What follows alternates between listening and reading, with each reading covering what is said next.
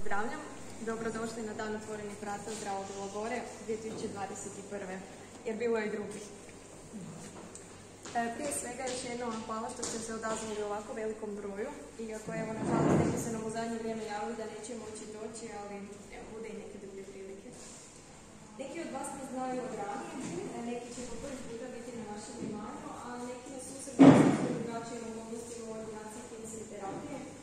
Pa im je ovo prilika da možda uživo pošetaju po našem drugom svijetu i da vidio kako izgleda da taj način život na ordinaciji.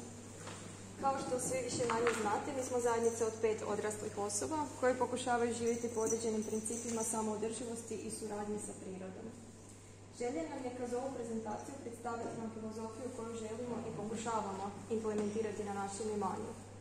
Poljoprivredom se proizvodnjom bavimo uz ordinaciju kineske terapije, a uzgojem povrća počeli smo se baviti iz vlastitih potreba. Od prvog vrta u Ulici, neki koji su s nama čikom trenirali znaju da se prve čeri rajčice krali. Preko malog vrta iza još neuseljene kuće u srednje diklinice koje smo kupili. Gradili smo svoj put eksperimentirajući razne metode, često učići na vlastitim greškama. Smatramo da imamo još mnogo toga za naučiti i osvijestiti, te se svakodnevno trudimo naći optimalna rješenja za izazove s kojima se susrećemo. Danas, još više nego prije, svjesni smo da samo održivost nije lakši put, te da je život u suradnji sa prirodom zapravo put prema nazad. Ono za čime težimo je odrast, a ne rast. I svjesni smo da često manje znači više. Iako smo teško srca otišli iz Varaždina, pa je mi sa našim zajednom, koliko smo dugo ovoga još imali ordinacije tamo i trudili se osobi kontaktu sa njima, našu budućnost vidimo ovdje na Bilogoju. Cilj nam je izgraditi samo održivi sustav koji se na principima permakulture, te se dugoročno povući na imanje i živjeti od poljoprivrede. Sad sigurno ima upita u glavi, a kaj s kineskom terapijom.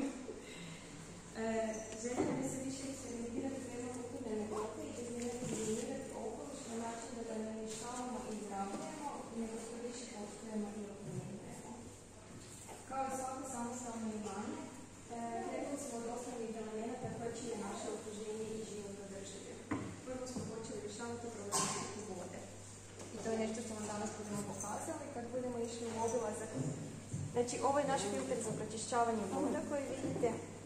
Prije dvije godine odlučili smo se izaći iz svoje komfortne zone i tradicionalno zbrinjavati komunalnih voda i sami ih pročišćavati. Po metodi mađarskog znanstvenika Ozara Rozefa napravili smo biosustav za filtriranje takozvanih sivih otpadnih voda. Crne otpadne vode riješili smo tako da smo u kućanstvu uveli kompostni WC.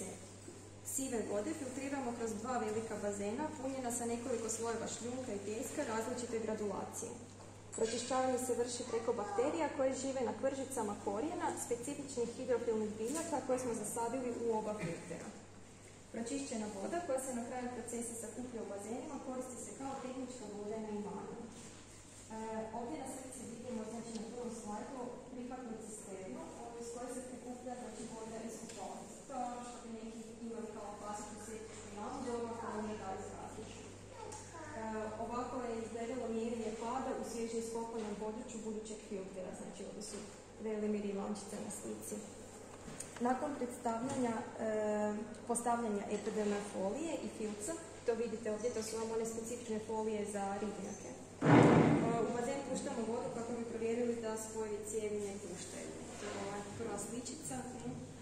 A druga sličica je znači da e, iz te cijevi, odnosno iz tog filtera, onda vodimo dalje u prepumpnu stanicu koja omogućava reguliranje razine vode u drugom horizontalnom To je ona povlačica koju vidite na uredničkom stavu. I onda se šljunkom različite tabulacije budimo filter u kojoj ćemo kasnije zasaditi ove terena, ako niste prepoznali sam je naštava. E, cijeli koje tekućine i